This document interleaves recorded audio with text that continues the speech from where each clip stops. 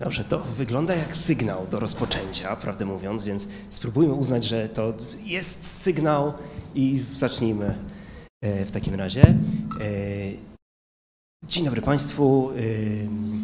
Mam przyjemność poprowadzić trzecią już dzisiaj debatę. Jak rozumiem, w zamyśle organizatorów pomyślaną jako deser i dostaliśmy tutaj takie kategorie e, ikona, e, mem e, i pewnie zamierzenie jest takie, żeby było wesoło, ale mam głębokie przekonanie, że wesoło nie musi się wykluczać z poważnie i że historia nauki i badania nad kulturową recepcją ważnych postaci ze świata naukowego również mogą powalczyć o swoje miejsce w panteonie powagi. I taki rezultat bardzo chciałbym dzisiaj osiągnąć a będę to robił razem z moimi gośćmi. Jest nimi dwójka historyków e, nauki, astronom i historyk nauki, pan profesor Jarosław Włodarczyk, e, który jest również redaktorem, a chyba można nawet użyć mocnego słowa kustoszem monumentalnej serii Studia Kopernikana, o której mam nadzieję też będzie dzisiaj okazja porozmawiać. Pani doktor Barbara Bienias, która jest historyczką nauki, a znamy się też z laboratorium semiotycznego, więc e, mam nadzieję, że czuje się chociaż trochę również semiotyczką i będzie za tę część e, wizualno-znakową e, odpowiadać. I w niezwykle trudnej roli pan redaktor Orliński, który jest autorem książki o Koperniku, celowanej do publiczności nienaukowej, ale szerokiej, osobą, która jest dzisiaj na froncie walki o to, tak socrealistycznie mi się powiedziało, do tego też będziemy nawiązywać, żeby Kopernika szerokiej publiczności przybliżyć, spopularyzować, ale też y, zmaga się przez to z tymi samymi problemami, którymi my naukowcy się na co dzień zmagamy, czyli jak opowiadać o kimś, o kim mamy tak mało źródeł. Te źródła są często sprzeczne. W jaki sposób, sposób interesujący dla szerokiej publiczności przedstawić pełnowymiarową, kolorową postać, z której mamy dostępny zaledwie taki szkic i to bardzo pobieżny. O tym wszystkim mam nadzieję będzie okazja dzisiaj porozmawiać.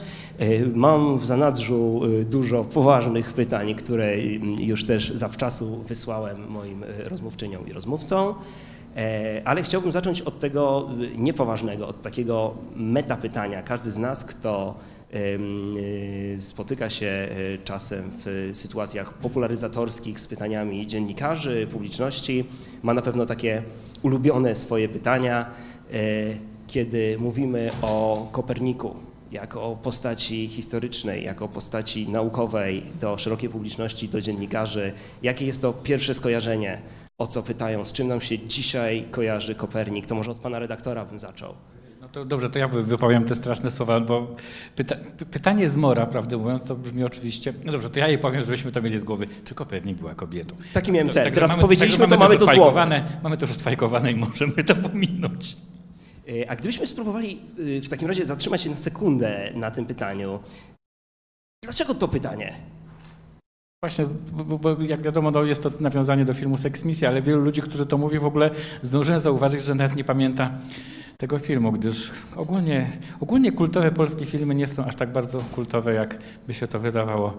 E, znaczy, więc znamy różne powiedzonka i nie wiemy skąd one e, pochodzą, więc, więc jest to nawiązanie do, do Sex Misji. To ja już, znaczy z dwojga złego, bo oczywiście następne pytanie to jest właśnie, czy był Niemcem, czy był Polakiem. Już, już wolę to drugie, bo z niego przynajmniej da się wyjść do jakiejś, no coś konstruktywnego powiedzieć. Natomiast Natomiast no, tam to nas no, jest bardzo dużo, mimo, mimo, mimo tajemniczości, która, która towarzyszy y, Kopernika, y, raczej sam fakt jego historyczności nie podlega y, wątpliwości, gdyż zbyt wiele jest źródeł pisanych. Ja lubię wymyślać takie, takie teorie spiskowe, ale teoria spiskowa, w której ktoś by sfałszował w ogóle wszystkie te, te wyliczając jakieś akty notarialne we Włoszech i tak dalej. I właśnie po co miałby to robić? Więc, więc, jednak, więc, jednak, więc jednak zakładamy, że przynajmniej część źródeł mówi, że istniał ponad wszelką wątpliwość i w wielu z tych źródeł jest bardzo expressis verbis nazwany mężczyzną, znaczy jest określony, jest bratem, bratem swojego brata Andrzeja, jest panem Mikołajem Kopernikiem, więc raczej, raczej poza tym nie mógłby być kanonikiem, gdyby, gdyby, gdyby nie był metrykalnie mężczyzną, więc Więc już wolę, wolę, żebyśmy przeszli do pytania o polskość i niemieckość. Jeszcze na pewno do niego dojdziemy. Panie profesorze, kiedy y, dziennikarze zagadują pana o Kopernika, to y, jakie są pierwsze skojarzenia szerokiej publiczności dziennikarzy? Dzień dobry Państwu. Y, ja nie wiem, czemu Pan się uparł na tych dziennikarzy. Znaczy, y, zawsze, ilekroć pytali mnie, to z dużym namaszczeniem chcieli się dowiedzieć jak najwięcej o Mikołaju Koperniku, jego życiu, jego dokonaniach. I nigdy nie byli na tyle niegrzeczni, żeby się zapytać, jakie, mówiąc delikatnie, najgłupsze pytanie o Koperniku zadał mi uczony na przykład. Ja jako dziennikarz jedną nogą tutaj od razu wolałem to mieć za sobą. Także nie umiem odpowiedzieć na to pytanie wprost, ponieważ o ile sięgam pamięcią, wszystkie moje rozmowy z dziennikarzami, a zazwyczaj są to bardzo profesjonalni dziennikarze popularyzujący naukę, najczęściej w radio polskim, y, to są to ciekawe rozmowy, rozwijające, pokazujące, że o Koperniku dowiadujemy się coraz więcej i że można na coraz nowe sposoby go popularyzować. Dzień dobry Państwu również. Ja pozwoliłam sobie domyślając się tego pytania, pokazać Państwu kontekście oczywiście tego, że Kopernik była kobietą. To, co widzą Państwo po lewej stronie, to jest taki znaczek, e, logotyp przygotowany w 2009 roku przez e, Starostwo Powiatowe w Olsztynie, e, które postanowiło, i to jest informacja z biura prasowego, odbrązowić Kopernika, zdjąć go z pomników, E, ucieleśnić go. E, jak Państwo zapewne się domyślają, tutaj są nawiązania do przedstawień popkulturowych e, Ernesto Che Guevary, stąd ten beret. Na tym przedstawieniu, oczywiście tutaj zarzekali się, że chodzi oczywiście tylko o to, że on był rewolucjonistą i on był rewolucjonistą i tu się kończą te, te, te porównania. Ale tutaj rzeczywiście w tym przedstawieniu on wygląda jakby miał pomalowane usta, co się komentującym już nie spodobało. Być może właśnie jest to zbyt daleko idące zmiana wizerunku, który jest nam e, tak dobrze znany z różnych portretów i przedstawień kulturowych. Natomiast sami twórcy y, właśnie z Olsztyna powiedzieli, że znaleźli bardzo dużo inspiracji popkulturowych, między innymi z plakatami y, do kampanii prezydenckiej Baracka Obamy. Jak wiemy, ta kampania również ma swoje bardzo głębokie nawiązania intertekstualne i innej ikonografii tamtego okresu. Więc Najciekawsze moim zdaniem w tym jest to, że, y, że Kopernik, jako przedstawienia Kopernika, te przedstawienia popkulturowe i to, co próbuje się dzisiaj czasami robić ze zmianą tego wizerunku, żeby go uwspółcześnić albo przedstawić szerszej y, publiczności czy młodszej publiczności, dla części odbiorców idą, idą za daleko. I jeżeli mielibyśmy do, y, przynajmniej tego oficjalnego tytułu naszej debaty dotyczącej również memetyki, to, a jednocześnie tego, jak najbardziej popularnie postrzegamy Kopernika, to tych nawiązań jest przede wszystkim, on jest pewnym archetypem astronoma. Mamy bardzo silne silnie zakonektowane jego, jego wizualność, zwłaszcza jego fizyczność. Czyli to są najczęściej odwołania do, do właśnie jego, jego fryzury, wydatnego nosa, bladości cery, również znane z tego przedstawienia, które wisi za nami. I oczywiście do jego dokonań astronomicznych. Wcale to są jedne z najbardziej popularnych memów, akurat, które są na jednym z popularnych serwisów i wcale nie wygląda, jakby były y, tworzone przez osoby y, najmłodsze. Więc tych nawiązań do, y, do Kopernika i do jego wizerunku, również do jego odkrycia jest bardzo duże w kulturze popularnej. Moje pytanie zadane na początku miało też ten cel, żebyśmy poddali jakoś refleksji ten stan wiedzy społecznej, społecznej recepcji e, tej postaci, bo e, hipoteza, z jaką tutaj przychodziłem do Państwa, jest taka, że funkcjonowanie tej postaci w przestrzeni publicznej wśród osób, które nie są ekspertami, ekspertkami, E, opiera się na e, bardzo płytkiej wiedzy, na jednym przedstawieniu e, ikonicznym, na kilku skojarzeniach związanych z y, konkretnymi miejscami, taka geografia kopernikańska, o której tutaj na pewno sobie jeszcze dzisiaj y, porozmawiamy. Y, No i na tej świadomości, że było coś ze Słońcem y, i Ziemią, y, ale jak to się dokładnie w historii astronomii y, wpisywało, y, no to przynajmniej z tych memów, które tutaj przed chwilą widzieliśmy, czasem trudno jest odgadnąć. To gdybyśmy teraz spróbowali zaatakować problem z zupełnie innej strony i sięgnęli z kolei w głąb do początku, żeby później przyjrzeć się chronologicznie tej historii naszych kulturowych wyobrażeń o Koperniku. Y, Co wiemy na pewno? Jaka jest dostępność źródeł w kwestii tej postaci i gdzie y, Kopernik plasuje się y, na takiej osi od postaci, co do których w zasadzie nie mamy źródeł i możemy się spierać nawet o ich faktyczność, a y, takimi postaciami jak współcześni celebryci, co do których możemy wiedzieć o której godzinie y, i co spożywali, bo nie omieszkają się podzielić na Instagramie tymi informacjami. To gdybym teraz od pana profesora mógł zacząć i kwestii źródeł y, dotyczących życia Mikołaja Kopernika. To znaczy, ja tutaj o źródłach już sporo było mówione, zwłaszcza podczas pierwszej debaty, natomiast ponieważ mówimy o jakimś takim społecznym odbiorze Mikołaja Kopernika, to ja chciałbym jako historyk astronomii zwrócić y, Państwu uwagę na y, pewne ciekawe aspekty. Znaczy, po pierwsze, musimy pamiętać, że De Revolutionibus Mikołaja Kopernika to była wysoce zmatematyzowana astronomia dostępna do bardzo wybranej grupy osób zaraz po tym, jak się ukazała. Ale kilka lat później yy, w Tybindze wydano tablice pruskie. Yy, To były takie tablice yy, astronomiczne służące do obliczenia położeń planet. Wystarczyło mieć, dodawać, odejmować, mnożyć i posługiwać się algorytmami. I te tablice pruskie zostały zbudowane na teorii Mikołaja Kopernika przez Erasma Reinholda, kolegę zresztą z Uniwersytetu Jerzego Joachima Retyka, jedynego ucznia Mikołaja Kopernika. I te tablice pruskie e, explicite głosiły sławę Mikołaja Kopernika również poprzez tekst, który tam informował każdego użytkownika. E, Dlaczego to było ważne? Ponieważ wtedy w e, Europie funkcjonowały tablice alfonsyńskie opi- opisujące, znaczy zbudowane na podstawie e, teorii geocentrycznej Ptolemeusza. I te tablice alfonsyńskie e, były w niezmiernie powszechnym użytku, służyły nie tylko astronomom, ale astrologom, lekarzom, wszystkim tym, którzy interesowali się e, astrologią w życiu codziennym, więc były wysoko nakładowe, miały kolejne edycje, zwłaszcza jak pojawił się druk. Zresztą chyba czwarte wydanie tablic alfonsyńskich z 1492 roku Kopernik kupił sobie, jak immatrykulował się na Uniwersytet, e, na Akademię Krakowską. Więc e, pierwszym takim powszechnym w świadomości europejskiej mocnym wejściem Mikołaja Kopernika e, to właśnie były tablice pruskie, ponieważ e, on wchodził z tą swoją astronomią e, w te wszystkie użyteczności, które były poza astronomią matematyczną. E, Druga taka bardzo ciekawa przygoda zdarzyła się z rozpowszechnianiem teorii Mikołaja Kopernika e, w, właściwie kilkanaście lat e, po jego śmierci, e, z kolei w kręgach e, londyńskich.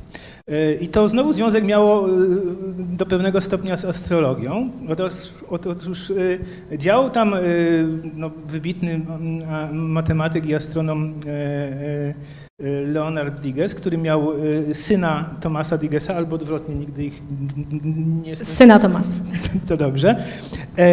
I właśnie mamy tutaj ten piękny przykład. I proszę sobie wyobrazić, że Thomas Digges kontynuował wydawanie bardzo popularnego prognostyku e, astrologicznego ojca Leonarda, ale w bardzo specyficzny sposób, ponieważ do tej części astrologicznej y, dodał y, przekład, właściwie taka bardziej parafrazy po angielsku, a więc w języku dostępnym wszystkim, pierwszej księgi, tej filozoficznej de facto, czy kosmologicznej Mikołaja Kopernika z, z tą wspaniałą rysiną, którą Państwo mają przed oczyma, z tytułem Doskonała opis y, orbit niebieskich i tak dalej, i tak.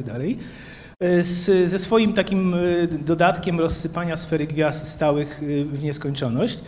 I y, specy od dawnej książki potrafią określić, że tych wydań z wersją angielską pierwszej księgi Mikołaja Kopernika w Londynie w ciągu y, 20 albo 30 lat to jest dokładnie okres, w którym w Londynie żyje na przykład y, Szekspir, było y, prawie 10 i łączny nakład tej y, publikacji co najmniej wynosił 10 tysięcy egzemplarzy. Co jak na tamtą epokę jest po prostu fantastycznym wynikiem. Dzieło Mikołaja Kopernika w swoim pierwszym wydaniu De Revolutionibus to było kilkaset egzemplarzy, prawdopodobnie 300. Więc e, e, Kopernik miał e, w niektórych kręgach przynajmniej, e, niezwiązanych bezpośrednio z astronomią matematyczną, e, możliwość zaistnienia, no i zaistniał. E, tablice pruskie bardzo dobrze konkurowały z tablicami alfonsyńskimi na przełomie XVI i XVII wieku.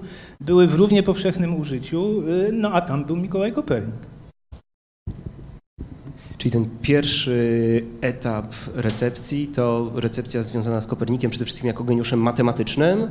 Nie, raczej jako twórcą y, nowej teorii ruchów planet, która przekłada się na y, coś, co jest bardzo potrzebne w ówczesnym życiu, a więc na tablice pozwalające stawiać horoskopy, pozwalające lekarzom wyznaczać moment najlepszego y, zaaplikowania danej, danego lekarstwa.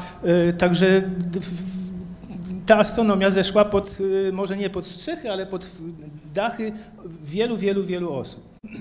Co więcej, wtedy w Londynie bardzo mocno, być może ze względu na położenie y, Wielkiej Brytanii dzisiejszej, y, czyli po prostu potrzeby nawigacyjne, potrzeba jest właśnie dobrych obliczeń, dobrych obliczeń nawigacyjnych, tworzenia lepszych instrumentów, lepszej obserwacji. I wtedy Londyn w tym czasie jest bardzo zainteresowany rozwojem nauk matematycznych, w tym astronomii. E, powstają już pozauniwersyteckie ośrodki w samym Londynie, zwane trzecim uniwersytetem angielskim, tak zwany Gresham College, College Greshama, Thomasa Greshama, który był jego twórcą. E, I od końca XVI wieku jest coraz więcej wykładów popularyzujących, popularyzujących nauki matematyczne. E, ale także, e, jak się okazuje, poprzez właśnie e, tego typu utwory, jak już w języku angielskim pojawiające się pierwsza księga De Revolutionibus w przykładzie Dixa, zaczyna się coraz większe zainteresowanie właśnie tym systemem i tym, co jest jakby w opozycji trochę do dotychczasowej wittenberskiej y, interpretacji y, dzieła Kopernika, gdzie przyjmowano go, ale raczej w kontekście lepszych obliczeń matematycznych, właśnie tego, że to jest faktyczny, realny system świata, czyli ze Słońcem, które stoi, Ziemią, która się obraca. Y, natomiast pan profesor wspomniał jeszcze o jednej rzeczy, to znaczy o tym właśnie, że, że to się pojawia w druku, że pojawia się tak często. I o ile oczywiście tutaj wizerunek to jest 1576, pierwsze wydanie do 1605, prawie 10 wydań na pewno, to później w, na frontispisach, stronach tytułowych wydań, chociażby właśnie y, to, co mają Państwo po prawej stronie, czyli dialogu na temat dwóch najważniejszych systemów świata, ptolemejskiego i kopernikowskiego, Galileusza. On się pojawia i stoi jako, e, jako reprezentacja tego systemu. I w e, podobny sposób pojawia się to w utworach Jana Heweliusza na stronach tytułowych. Ale to gdybyśmy ja tak. wszedł w słowo Oczywiście. do poprzedniego Oczywiście. Slajdu, bo mówiliśmy o wersji anglojęzycznej e, dzieła Mikołaja Kopernika i do tej pierwszej księgi, która jest właściwie dostępna każdemu, kto chce ją przeczytać, bo tam nie ma matematyki, to e, Galileusz ze swoim dialogiem jest o tyle ważny, ponieważ to jest kolejne wyjście do czytelnika używającego języka narodowego, w tym wypadku włoskiego. Bo Heweliusz, który za chwilę będzie pokazany, to jest już znowu są dzieła naukowe i to jest inna recepcja, inny, inny krąg oddziaływania. Na to, w przypadku Galileusza to jest znowu próba opowiedzenia o e, nowym systemie świata, tak, żeby nie tylko ci, którzy uczyli się łaciny, byli w stanie się z tym zapoznać. Tak. E, I w przypadku dzieł Heweliusza po prostu Kopernik pojawia się, tutaj mamy machinę Celestis, obok Tychona Brachego, twórcy tego pośredniego systemu geoheliocentrycznego,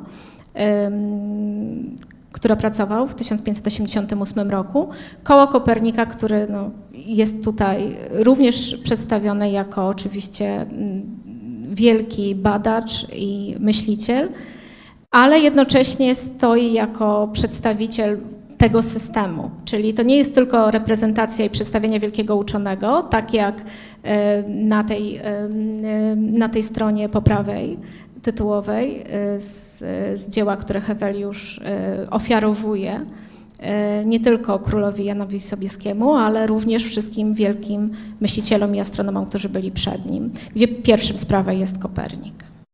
Tutaj ofiarobiorcą jest Urania, E, Heweliusz tutaj przyprowadza wszystkie swoje gwiazdozbiory, które stworzył na nowo na niebie, idą za nim, a sam trzyma w rękach sekstans i tarczę Sobieskiego.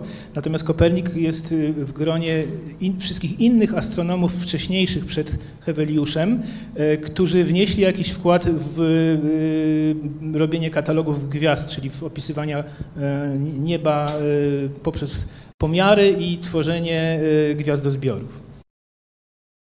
To z mojego punktu widzenia, jako y, laika w tej dziedzinie, wygląda jak taki fascynujący moment spotkania dwóch światów wyobraźni tej antycznej, średniowiecznej, wczesno-nowożytnej wyobraźni, w której zasada autorytetu była taka ważna i te postacie się wręcz alegoryzuje jak takich półbogów i tego świata, gdzie już mamy takich praktycznie nowoczesnych uczonych, którzy się wymieniają hipotezami, tymi modelami e, matematycznymi. No jak rozumiem, to wszystko też miało wpływ na recepcję tej postaci, która w tym pierwszym okresie, jeśli dobrze rozumiem, była w sposób dosłowny twarzą pewnego systemu, bardziej niż człowiekiem.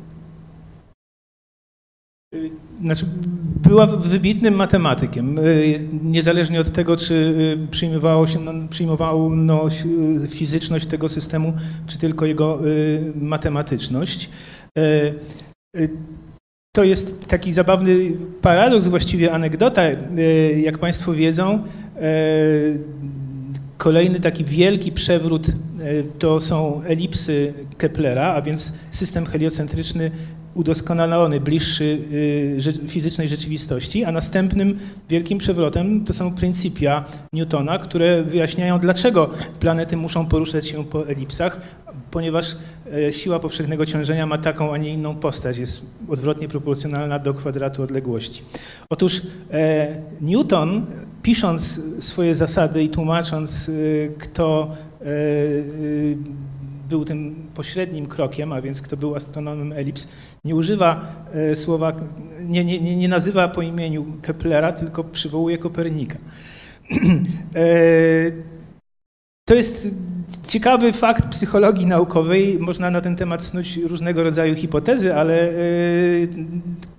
Kepler, który de facto był odpowiedzialny za rozmyślania nad kształtem siły powszechnego ciążenia, w tym wypadku nie został przywołany tylko Kopernik. A więc ten Kopernik gdzieś tam klikał w głowie przynajmniej Newtona. Dodał jeszcze, że żeby, żeby, żeby e, trochę bliżej się przysunąć do, do, do kultury, e, którą ma, mamy w tytule, że, że no właściwie natychmiast ze względu na to, jakie znaczenie, jakie znaczenie ma dla, dla, dla uczonych, właśnie zaczynają sobie zadawać pytania, które dręczą nas do dzisiaj, kim on właściwie był.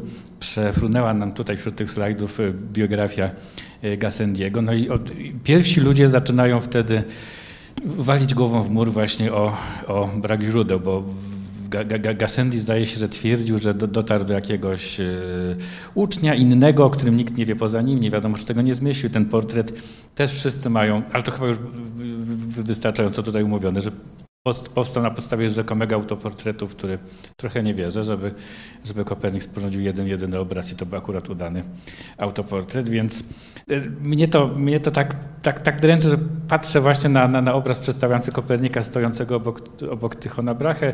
Osiągnięcie Kopernika jest z pewnością większe, ale tak dużo wiemy o Brachem i tak mało o Koperniku, to, więc, więc, więc on jest tym wszystkim postacią, no z jednej strony słusznie dostojną, bo ja wy, wy, wysuwam taką hipotezę, będę ciekaw Państwa opinii na ten temat, że po prostu gdyby Kopernik nie opublikował de Revolutionibus, po prostu ktoś by to w końcu, ktoś by w końcu podobny model zrobił za niego, ale wtedy po prostu Kepler nie zdąży, Galileusz nie zdąży, Newton nie zdąży, w ogóle cała fizyka jest opóźniona jakieś porządne kilkadziesiąt lat w tym wszystkim. To znaczy on słusznie jest wymieniany jako jako ten najważniejszy, no bo on był, no, no bo bez względu na to, jak ogromne osiągnięcia, może mówi, mówi się o Galileuszu jako ojcu nowożytnej fizyki, o, o Keplerze jako tym, kto przy, przy, przyłożył fizyczne metody do, do, do, do astronomii, no i wreszcie o Newtonie jako tym, który to wszystko wyjaśnił, ale oni by wszyscy nie zdążyli, to znaczy może właśnie Newton by dokonał przewrotu kopernikańskiego, ale wtedy fizykę mamy tak strasznie spóźnioną.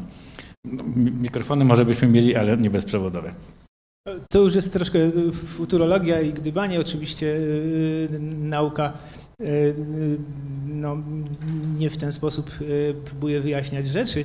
Natomiast skoro powiedział Pan o Tychonie Brachę, to tutaj też jest jeszcze kolejna ciekawa anegdota. Otóż Tycho Brachę, po pierwsze wiemy o nim tak dużo, ponieważ on stworzył potężną szkołę astronomiczną. Znaczy na swojej wyspie Wen miał obserwatorium, do której do którego ściągał pomocników, y, których zresztą potem nie chciał z tej wyspy wypuszczać, żeby nie mówili, co tam się dzieje, ale było to kilkadziesiąt osób. Y, I y, ślady po działalności Tychona Brachego są zmultiplikowane, jeżeli weźmiemy pod uwagę, że właściwie taki snop światła z boku puszczony na Kopernika został właściwie tylko przez Retyka i przez jego narratio prima. E, natomiast Tycho Brahe jest jeszcze wart wspomnienia z kolejnego powodu. Otóż Tycho Brahe był tak zafascynowany Kopernikiem i jego dziełem, że wysłał swojego asystenta do Fromborka. I ten asystent e, nie tylko pojechał tam, żeby ustalić szerokość geograficzną Fromborka, żeby można było zweryfikować obserwacje Kopernika, ale żeby rozejrzeć się, co po Koperniku zostało. I okazało się, że kanonicy warmińscy mieli jeszcze jeden z instrumentów Kopernika, tak zwany trójkąt paralaktyczny.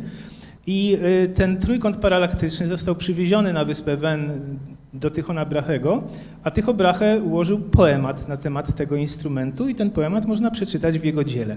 Także tutaj mamy, y, jeżeli już mówimy o kulturowej recepcji y, dzieła Kopernika, bardzo no, nieoczywisty, w tamtej epoce to było powszechniejsze oczywiście, ale poemat na temat instrumentu Mikołaja Kopernika. A tymczasem w rodzinnych stronach Kopernik został trochę zapomniany, nie układało się o nim poematów, prawda? To znaczy, nie no, właściwie od początku.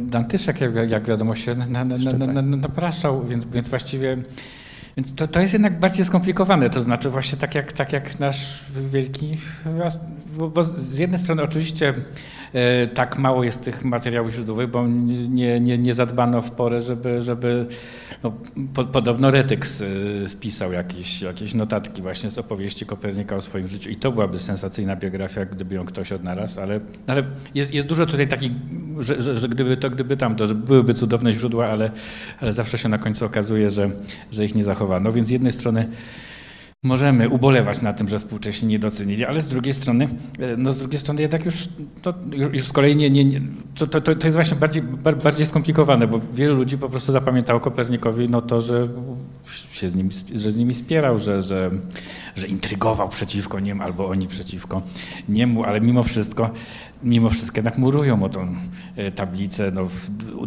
udostępniają jakieś materiały gościom, tak jak, tak jak tylko, tylko, tylko, właśnie mm, Kopernik przez to, że był tak, miał zupełnie inną sytuację y, zawodową, nie, nie, był zawodowym astronomem, nie miał obserwatorium, do którego mógłby zapraszać uczniów, uprawiał to w wolnych chwilach. Jego głównym zadaniem było, było administrowanie w armii, uczestniczenie w sporach o to, kto będzie następnym biskupem i tak dalej. To zostawił trochę wrogów i trochę przyjaciół, trochę wątpliwej jakości przyjaciół.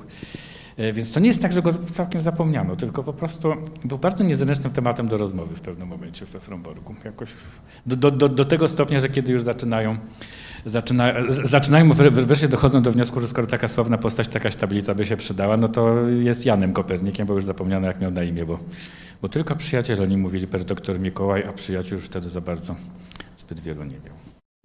Gdybyśmy teraz przeskoczyli kawałek w czasie y, naprzód y, i y, doszli do oświecenia w Polsce i do momentu, kiedy y, jakiś y, nowy format y, myśli poszukuje dla siebie też patronów i Kopernik, no może nie odnaleziony czy przypomniany, ale po raz pierwszy zostają położone tak silne fundacje pod naszą polską tutaj mityzację. To może pani doktor coś? To ja mówię, może jeszcze tylko w takim razie, bo rzeczywiście mm, doktor Bienias będzie świetna, natomiast nie, nie opuśćmy XVIII wieku. Super. Ponieważ w Polsce mamy w XVIII wieku niezwykle ciekawą sytuację. Otóż e, XVIII wiek to już jest e, kilkadziesiąt, a w pewnym momencie kilkaset lat po pryncypiach Izaaka Newtona.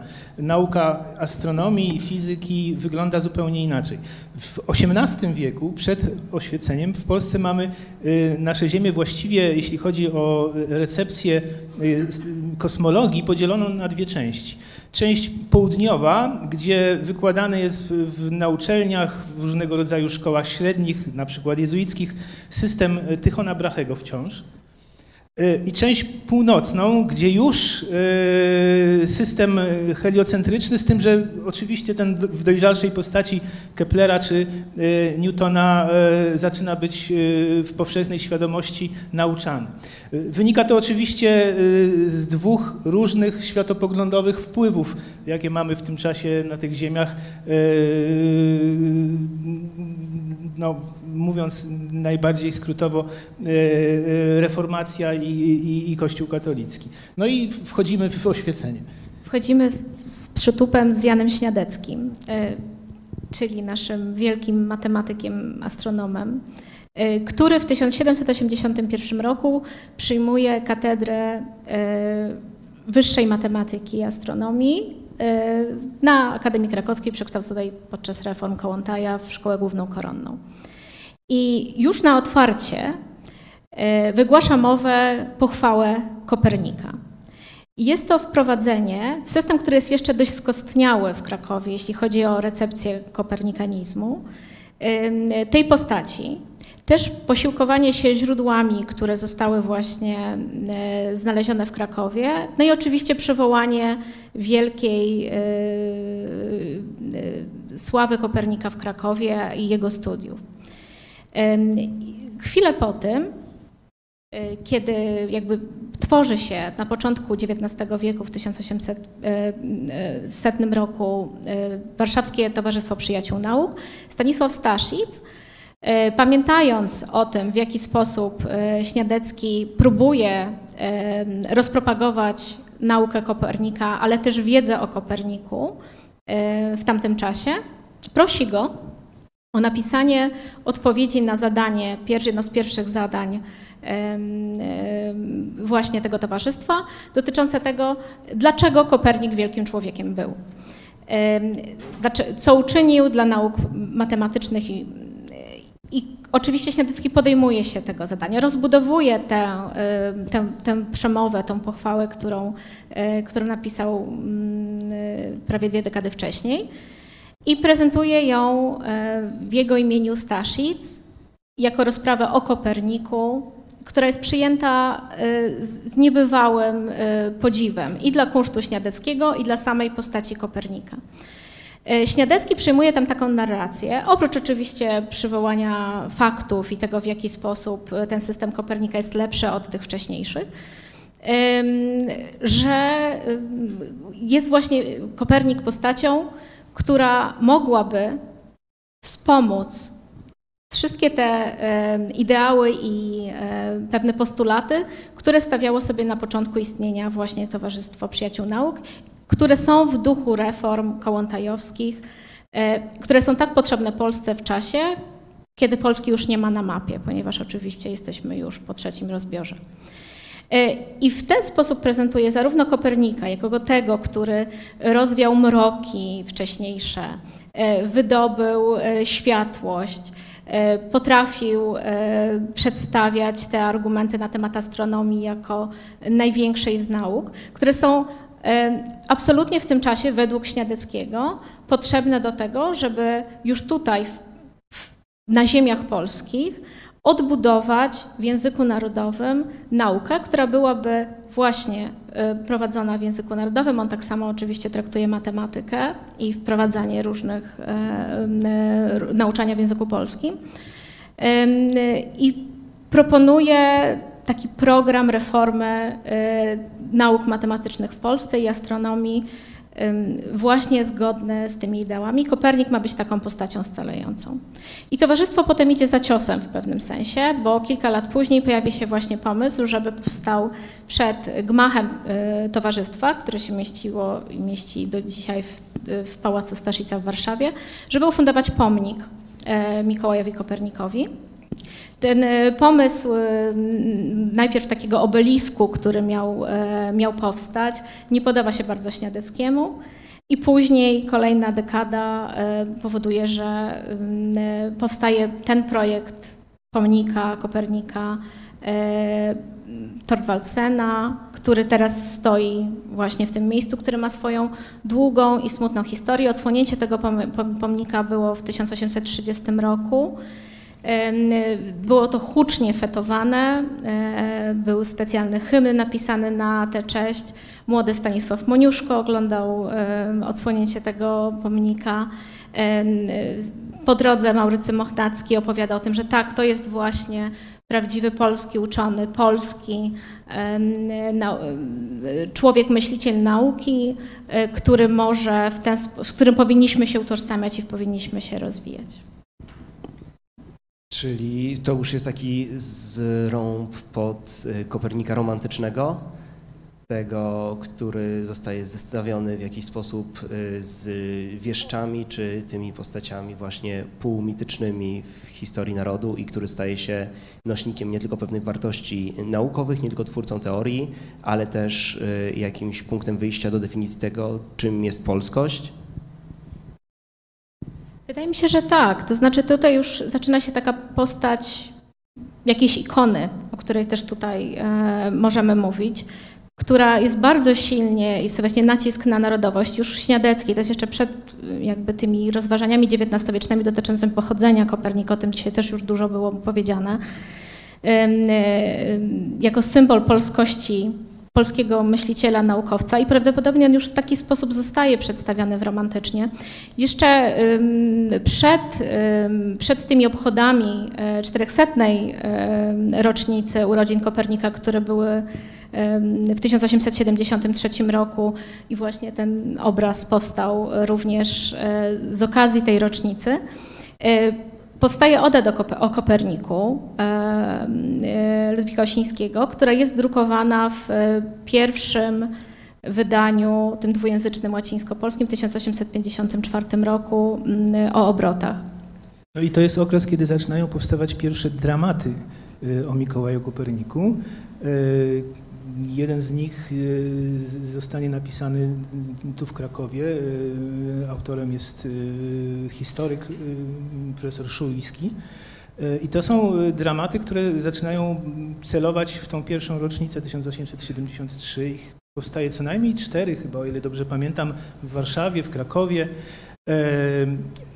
I właściwie te wszystkie pierwsze dramaty y, pokazują Kopernika. Nie wiem, czy, czy to jest wątek. Znaczy ja właściwie nie znam Kopernika romantycznego, być może w poezji tam jest. Natomiast w dramaturgii y, Kopernik pojawia się przede wszystkim jako taka y, postać czy ikona uczonego, który ma właściwie do załatwienia sprawę pomiędzy y, wartościami prawdziwej nauki, a y, światopoglądem wynikającym z religii. Albo kogoś, kto jest bardzo odpowiedzialny za te wszystkie funkcje, które mu powierzono. Jest taką y, krystalicznie czystą postacią, która już na podstawie znanej biografii, pomijając różne inne szczegóły, zostaje w ten sposób zbudowana. Y, troszkę inaczej to potem będzie w, okresie y, dwudziestolecia międzywojennego, a w dramaturgii, tak jak zdążyłem y, kiedyś sobie to wszystko poukładać, taki Kopernik, który ma według dramaturga za uszami na przykład Annę Schilling albo nieślubnego brata, to pojawia się dopiero właściwie w latach 50. to jest z kolei kolejna rocznica, 1953 rok. Chyba Roman Brandstetter w, swojej, w swoim dramacie po raz pierwszy próbuje udramatyzować życie codzienne Mikołaja Kopernika w ten sposób. Także to jest też ciekawy wątek jak y, dramaty o Mikołaju Koperniku odzwierciedlają y, sposób y, narracji o nim. No, w Krakowie bardzo ciekawa próba Jerzego Broszkiewicza z 1960 roku, dramat o Koperniku, który jako jedyny nosi podtytuł Komedia historyczna czyli próba potraktowania Kopernika no, może troszkę lżej. Jeśli mogę, jeszcze na chwilę chciałabym wrócić do tych obchodów 1873 roku, bo tutaj też to padło dzisiaj, e, czyli to powiedzenie, powiedzonko, jak mówiła prowadząca, e, wstrzymał słońce, wzruszył ziemię, polskiego wydało plemię. E, to jest właśnie też hasło, które pojawiło się na tym medalu wbitym w 1873 roku. A jednocześnie to, o czym przed chwilą mówił pan profesor, to znaczy ten taki obraz Kopernika, który łączy naukę, poważną naukę ze swoją religijnością i duchowością, to jest też bardzo częsta interpretacja historyków sztuki tego obrazu, który, Matejki, który wisi za nami, reprodukcja, która wisi za nami. Często porównywane jest to już nie tylko ułożenie szat do, do, do, do pewnego sakralnego portretowania, ale oczywiście to źródło światła, które jest powiedzmy, z, którego nie ma na obrazie i który jest porównywany do takiego elementu ekstazy w malarstwie religijnym albo epifanii. I jeśli Państwo zwrócą uwagę na y, stronę tytułową y, publikacji, która się pojawiła przy okazji tego jubileuszu księdza Polkowskiego, to Kopernik jest prawie odwzorowaniem ubioru, jeśli Państwo sobie tutaj porównają z tego obrazu Matejki ale jednocześnie gest, który wykonuje, jest, y, jest gestem, który się pojawia przy okazji przedstawiania Chrystusa. Jest, więc te wątki mesjańskie, które się pojawiają również oczywiście w polskim romantyzmie po Mickiewiczowskim, y, znajdują swoje odwzorowanie w tej ikonografii Kopernika z końca, z drugiej połowy XIX, XIX y, wieku. A z kolei te, te, te wątki chrystianizujące zostają po tej rocznicy w Krakowie. E, to jest oczywiście tak drugazacja, to to może pominiemy, ale e, też jakby idąc tutaj do Państwa, e, dzisiaj mieliśmy informacje o właśnie warsztacie witraży. To jest oczywiście mm, witraż Stanisława Wyspiańskiego według jego projektu. Apollo albo system Kopernika gdzie najpierw ten witraż w domu Towarzystwa Lekarskiego, zamawiany przez Juliana Nowaka w 1904 roku, miał prezentować astronoma, miał prezentować Kopernika. E, zwłaszcza w związku z tym, że Towarzystwo Lekarskie miało się łączyć wówczas z Towarzystwem Astronomicznym. Ale Wyspiański wybrał niedosłowne przedstawienie, przedstawiając Apolla, Boga Słońca i ten moment spętania przez Lirę jest również porównywany do tego zatrzymania Słońca przez Kopernika, a oprócz tego, jak jeżeli Państwo też spojrzą na tę ikonografię, w alegoryzujący sposób niektórzy historycy sztuki dopatrują się tam również wątków chrystusowych i mesjańskich. Więc również na początku XX wieku takie alegoryzujące przedstawienia kulturowe się pojawiają. Tutaj wciąż jesteśmy oczywiście w tym sosie narodowościowym. Polska znajduje się historycznie w takim miejscu, w jakim się wówczas znajdowała i skoro krążymy wokół tej rocznicy 1873 roku, e, gdzie były obchody niemieckie, obchody polskie, ale nie wiem, czy Państwo wiedzą, były również obchody czeskie.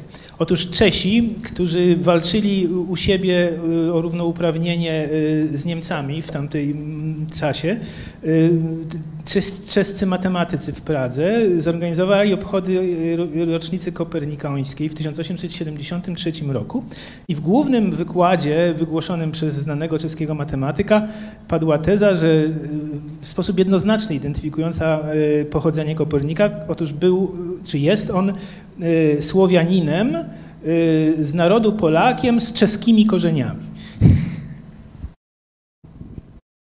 Znaczy ja cały czas, e, po, ponieważ oczywiście o wszystkim tutaj już ktoś kiedyś napisał książkę, więc cały czas kiedy, kiedy, kiedy, kiedy Państwa słucham, no krąży mi, krąży mi konkretnie książka e, Kokowskiego, to znaczy, że ponieważ tych, te materiały są tak skąpe i jak już mówiliśmy to wielokrotnie, e, przeczą ze sobą w różnych punktach, to właściwie każdy może wymiksować opowieść jakąś opowieść o Koperniku, czyli o Koperniku jako człowieka Kościoła i Koperniku jako patron, patronie antyklerykalizmu.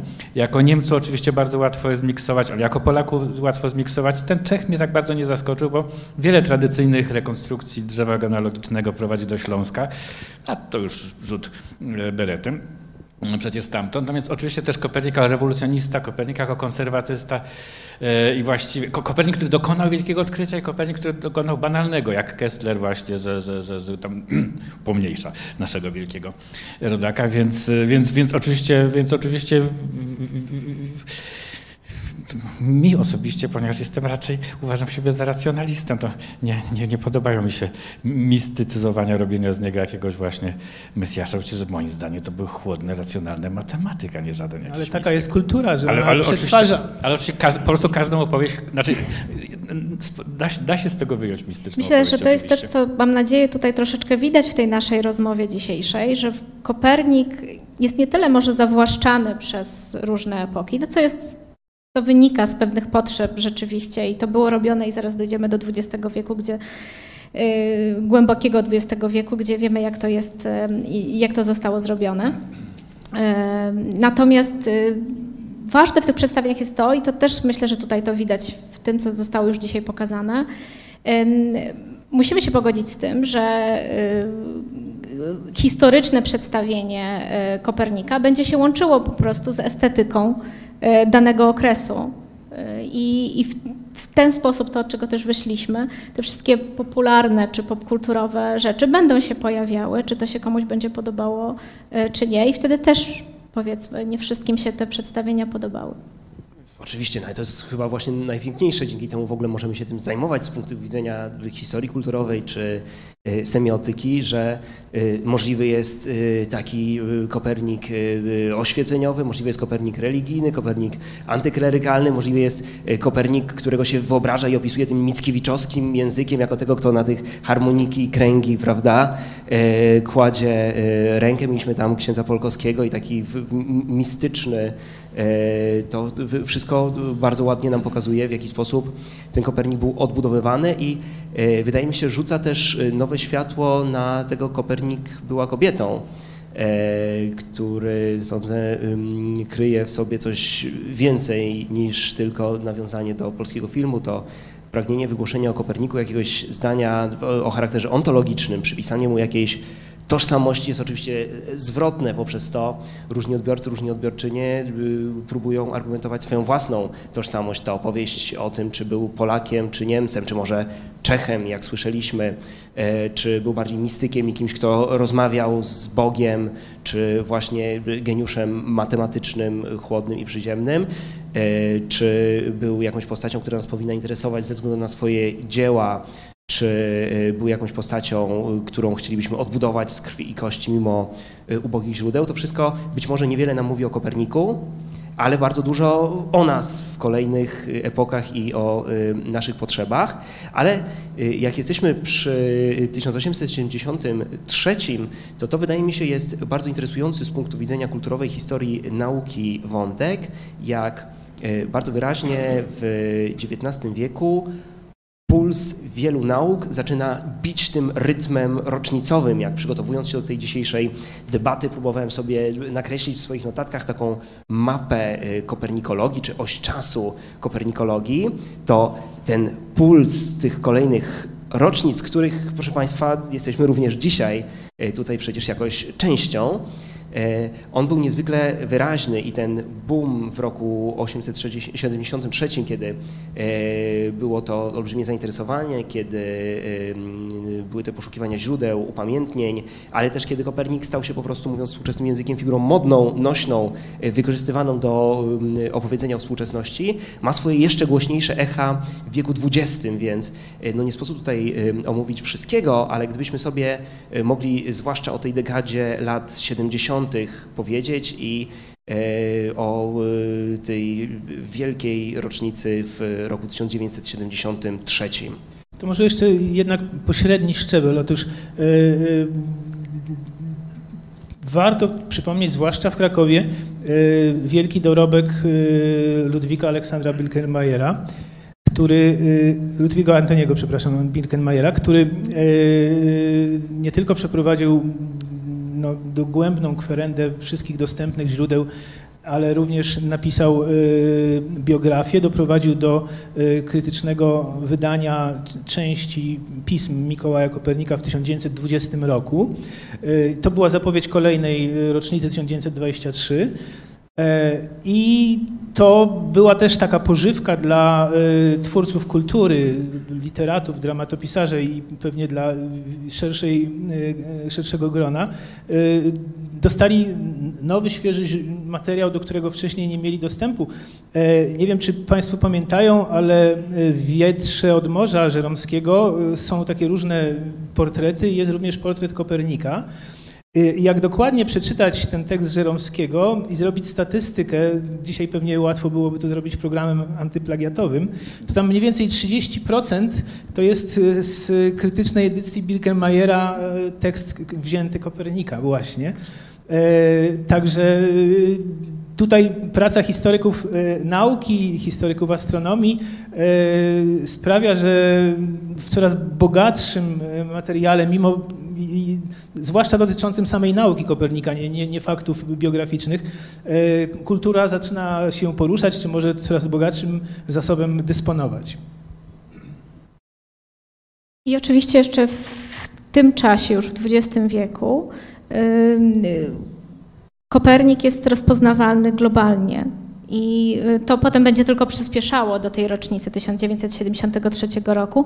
Jeszcze chciałam Państwu pokazać taki pomnik astronomów. To jest pomnik sześciu y, najważniejszych postaci z, z, z historii astronomii, na który, w, który się znajduje w Los Angeles, w Kalifornii, w Griffith Observatory. Gdzie Kopernik jest przedstawiony wśród, w otoczeniu Keplera, Newtona, Herschela, oczywiście także Hiparcha i Ptolemeusza.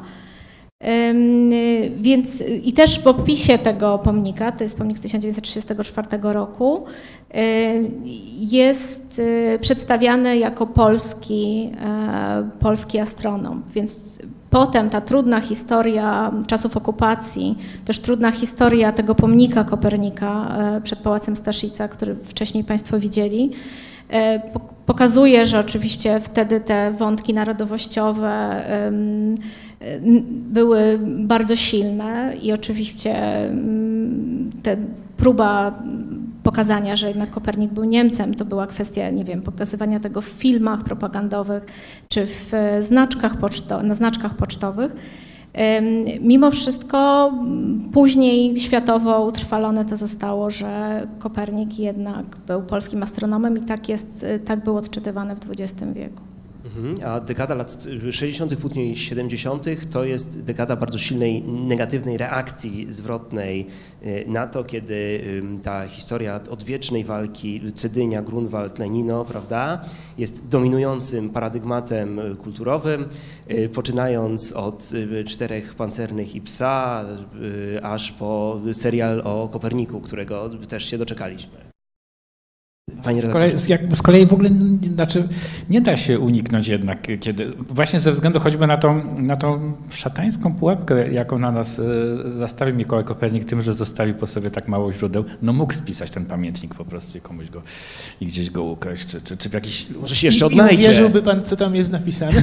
No, ale, ale przynajmniej, no, przynajmniej byłby to krok w jakąś stronę, więc, więc przez to, że tak łatwo jest z niego zrobić Polaka, Niemca, Czecha yy, i pewnie jeszcze parę innych nacji, by, by się udało, więc, więc z jednej strony był z postacią z całą pewnością wybitną, z drugiej mm, tak mało nie wiadomo, więc taka pokusa, żeby, żeby te źródła miksować na, użytek bieżących potrzeb jest ogromna i no nie da się ukryć, że ja też jej ulegam, czyli na przykład do tej kwestii y, polskości chciałem się najpierw odnieść w jakiś bardziej wyważony sposób y, w swojej książce. Akurat równocześnie, jak, jak już kończyłem, wybuchnęła wojna w Ukrainie, i która jakoś tak zmusza do, do, do, do, do znaczy mnie przynajmniej zmusiła do do tego, że jednak, że jednak właśnie no, wojna to jest również moment, w którym ktoś wybiera, po której stronie walczy i, e, i tak jak są rosyjskojęzyczni Ukraińcy, tak mogli sobie być w tej wojnie no, niemieckojęzyczni Polacy. Właściwie dlaczego nie może być niemieckojęzycznych Polaków, skoro są francuskojęzyczni Belgowie i tak dalej. Więc e, oczywiście historyk za takie coś no, zapadłby się pod ziemię, bo dokładnie to jest warsztatowy błąd prezentyzmu, ale, ale, ale, ale dziennikarz z kolei nie może tego uniknąć i chyba samorządowiec robiący uroczyste obchody w województwie warmińsko-mazurskim też tego nie uniknie po prostu. Jednak, jednak, jednak trzeba, jednak z, z, z tych źródeł coś musimy, coś musimy wy, wykręcić. No i oczywiście w czasach Gierka wspaniale pasowało do hasła Polak potrafi, a w czasach Matejki wspaniale pasowało do tego, żeby to razem z tym Grunwaldem i razem z tym Pocztem Królów pokazywać, jakie mieliśmy wielkie, znowu pewne sztucznie stworzone my, yy, ale, ale do, do, nie da się przed tym uciec, nawet, nawet chłodnym akademickim badaczom, bo, bo ani Birkenmeier, ani Prowe też nie byli całkiem bezstronni, ci, ci, ci pionierzy nowożytnej kopernikologii. Więc chyba ta, ta pokusa jest zbyt silna, żeby, żeby, żeby Kopernika nie wykorzystywać do bieżących potrzeb politycznych. To oczywiście z myślą o publiczności przed odbiornikami zgromadzonej, która y, może mieć y, różne y, tła teoretyczne, warto tu bardzo wprost powiedzieć, że Kopernik nie mógł się zdefiniować jako Niemiec ani Polak w sensie nowoczesnych państw narodowych po traktacie westfalskim, bo żył przed nim i tego rodzaju tożsamość narodowa, jaka dziś jest dla nas oczywista, że świat jest podzielony na takie kolorowe puzzle. Każdy kawałek jest przypisany jednoznacznie do jednego państwa narodowego, które e, sprawuje tam szereg monopolii, w tym przede wszystkim e, monopol na, na przemoc fizyczną.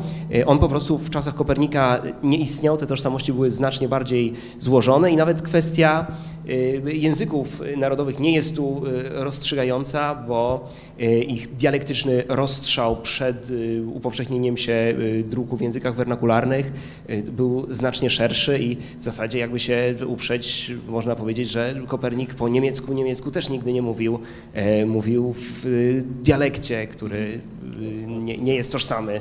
Nagrań brak, ale ja tutaj odesłałbym wszystkich słuchających do bardzo kompetentnej dyskusji podczas pierwszego panelu. Tam e, była o tym mowa, profesor Mikulski, profesor Kokowski wypowiadali się na ten temat. Może tego wątku nie powtarzajmy niepotrzebnie. Jasne, ale skoro się pojawiła tutaj ta kwestia, warto to też e, jednoznacznie. A wracając do roku 1973, e, no to był oczywiście e, nie tylko czas propagandy i budowania politycznego kapitału na Koperniku, ale też kolejne wahnięcie w tym pulsie kopernikologii, okazja do podjęcia wielu inicjatyw dotyczących upamiętniania Kopernika nie w tym szeroko rozumianym dyskursie popularnym, ale właśnie bardziej w głąb dla naukowców. To może o tym też moglibyśmy krótko, panie profesorze? Y, ja się zamyśliłem nad czymś innym, y, właściwie nad dwiema kwestiami. Jedna bardzo według mnie ciekawa, choć niewiele o niej wiem, kiedyś słuchałem pewnego wykładu na ten temat. Otóż y, pamiętajmy o tym, że y, XX wieku, również po II wojnie światowej, istniała y, spora polska diaspora w różnego rodzaju krajach, Stany Zjednoczone, Kanada i tak dalej. I dla nich ta rocznica kopernikowska była jednym z mm, takich mocnych akcentów dla takiego samookreślenia się w sposób dumny wobec środowiska, w którym się znajdują. I pamiętam, że y, środowiska polonijne bardzo wykorzystywały ten, ten, ten moment. E, e, a druga rzecz to jest to, że z kolei ta rocznica kopernikowska, o której teraz mówimy, 1973 rok, to był bardzo e, takie mm, inspirujące i e, e, owocne ziarno dla historii nauki. Znaczy badania nad, hi- historyczno-naukowe, historyczno-astronomiczne w szczególności e, przeżywały w okolicach tej rocznicy jeszcze przez kilka dziesiątek lat potem e, no, taki duży rozkwit. To był bardzo potężny impuls, który teraz troszeczkę wyhamował. E, Zobaczymy, czy nasz, e, nasza, nasz kongres kopernikański e, przyczyni się e, w podobny przynajmniej sposób do, do, do e, dania nowego impulsu. E, A pan mnie pytał o. e, Dokładnie o to. Aha, to Dokładnie dziękuję, o to, czyli o rok y, 73 jako właśnie ten impuls naukowy. To może o kilku takich najważniejszych inicjatywach jeszcze dla naszych widzów tutaj przed y, ekranami. Rozumiem, że ci na sali w większości te inicjatywy No znają. i mimo, że włos mam siwy, to w 73 roku jeszcze byłem wystarczająco młody wychodzić do szkoły podstawowej i pamiętam, że przeżyłem y, w związku z tym bardzo y, zabawny epizod. Otóż y, zostałem wytypowany do wzięcia udziału w konkursie o Mikołaju Koperniku, o którym poza takim hasłem nie wiedziałem nic więcej, a ponieważ konkurs był następnego dnia, więc przeczytałem biogram w y, 12-tomowej encyklopedii PWN i oczywiście zająłem ostatnie miejsce w tym konkursie. No bo tak to było. A niemniej pojechałem z wycieczką do planetarium y, w- Chorzowie i było to dla mnie takie pierwsze y, wielkie przeżycie z y, astronomią, bo wcześniej nie, nie miałem okazji spotkać się z astronomią. E, Natomiast e, jeśli chodzi o e, uczonych, którzy już wtedy zajmowali się na bardzo poważnie Mikołajem Kopernikiem, no to z jednej strony w Polsce pojawiła się, no pojawiło się kolejne pokolenie po najpierw profesorze Ludwiku Antonim Birkenmajerze i potem po jego synu Aleksandrze Birkenmajerze. E, Profesor Jerzy Dobrzycki, e, mój mistrz, e, stał się wybitnym znawcą Mikołaja Kopernika. On właśnie dojrzewał w tym okresie. Wtedy zresztą był niejako współodkrywcą nieznanej wcześniej kopii komentariolusa Mikołaja Kopernika, a więc tej pierwszej rękopiśmiennej zajawki o systemie heliocentrycznej, która została rozesłana po Europie, nie wiemy w ilu egzemplarzach, zach- zachowała się w trzech, w tym jeden jest niekompletny. E, I to było tak, że kiedy na e, kongres ówczesny kopernikański przyjechali badacze z całego świata, to jeden z nich, e, Szkot, miał zdjęcia De Revolutionibus, które było w bibliotece, już nie pamiętam, której uczelni angielskiej albo szkockiej. I tam e, dodane były takie karty rękopiśmienne i jak Dobrzycki to zobaczył, to od razu powiedział, że to jest komentariolus i to była publikacja w Nature. Dzisiejsze Ministerstwo Szkolnictwa i Nauki byłoby bardzo dumne, bo daje 200 punktów za to.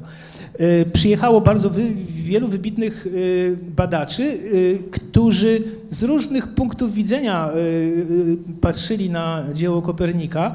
E, Z mojego punktu widzenia najbardziej interesujące były e, rzeczy dotyczące historii matematycznej i tutaj warto przypomnieć innego wybitnego badacza, profesora Owena Gingericha, który był e, świetnym astronomem, pionierem badań heliofizycznych, ale jak sam potem zaczął mówić, stał się ofiarą dwóch rocznic. Najpierw Kopernika, a potem Keplera. Otóż y, wytypowano go y, w obserwatorium Harvarda, żeby zapoznał się, co można ciekawego powiedzieć na ten temat, a ponieważ to, to, to była wtedy y, pierwsze kroki wykorzystywania obliczeń komputerowych do badań historyczno-astronomicznych, Gingerich był w tym biegły, zaczął y, tablice na przykład pruskie Kopernika, porównywać ich dokładność z tablicami alfonsyńskimi, żeby zobaczyć, czy to był istotny postęp. Potem poszedł w Keplera, no i stał się y, wielkim badaczem y, tej epoki w historii astronomii. Dzięki 1973 rokowi, roku im zawdzięczamy my jako historycy astronomii, historycy nauki y, w ten sposób y, Kopernikowi y, bardzo ważne prace. Ja z kolei chciałabym jeszcze nawiązać do tego, co powiedział pan profesor, to znaczy tych y, środowisk polonijnych, które rzeczywiście wtedy mogły się identyfikować i takiej powiedzmy polityki e, historycznej, która jest też teraz prowadzona. To znaczy e, próbuje się wyjść z tym Kopernikiem e, na zewnątrz ponownie i często przybliżać te różne przedstawienia i ten, przy, ten przykład Matejki sprzed kilku lat, który trafił do e, National Gallery w Londynie po raz pierwszy, e, został tam wypożyczony. E, do Galerii Sztuki e, Współczesnej po osiem- 1800 roku. E, Miał całą wielką oprawę, która również była taką oprawą i ambasady Polski, polskiej w Londynie i różnych środowisk polonijnych, jako właśnie taka kolejna próba no, niesienia kultury polskiej i przybliżenia zarówno postaci Kopernika, jak i Matejki e, już w XXI wieku. I to jest też moim zdaniem dość istotne w tej rozmowie, ponieważ e, tak jak i Pana nowa biografia e, Kopernika, e, jak i różne nowe prace, które się pojawiają, przynajmniej w takich założeniach właśnie próbują zrobić to, to znaczy przybliżmy Kopernika, pokażmy go jako człowieka z krwi i kości.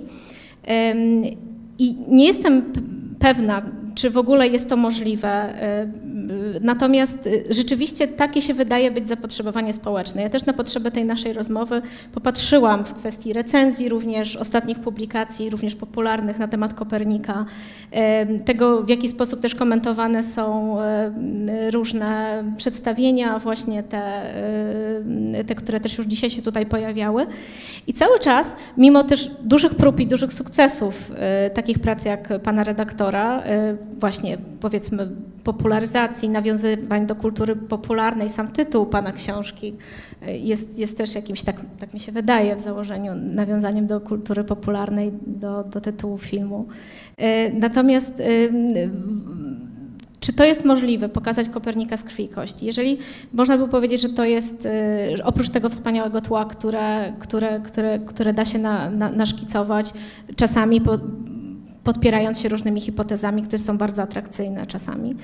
Y, Prawdopodobnie nowa y, jakaś wersja filmowa, zrobiona w takim bardzo współczesnym stylu, byłaby jakąś odpowiedzią na to.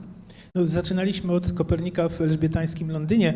Proszę sobie przypomnieć, ile w ostatnich czasach fantastycznych seriali historycznych zostało wyprodukowanych właśnie dotyczących tej To epoki. samo chciałam powiedzieć, to znaczy E, Kopernik żył, w, w, no, można powiedzieć, wtedy, kiedy polskie państwo było najpotężniejszym państwem, jednym z najważniejszych państw w Europie, uwikłane we wszystkie możliwe e, polityczne e, rozgrywki, więc e, zrobienie dobrego scenariusza i umiejscowienie w tym e, w jakiś sposób Kopernika e, oczywiście brzmi bardzo e, interesująco jako projekt zaproponowany przez dr Bienias. Ciekawe, czy ktoś e, e, na to się e, poważy i czy jest możliwość, że wyjdzie z tego coś e, ciekawego. Ja wspominałem o tych pierwszych dramatach Kopernika i o tej takiej ikonizacji jego wtedy sylwetki, a one też z- zwracają uwagę na to, że dotyczyły właściwie ostatnich lat jego, życi- lat jego życia.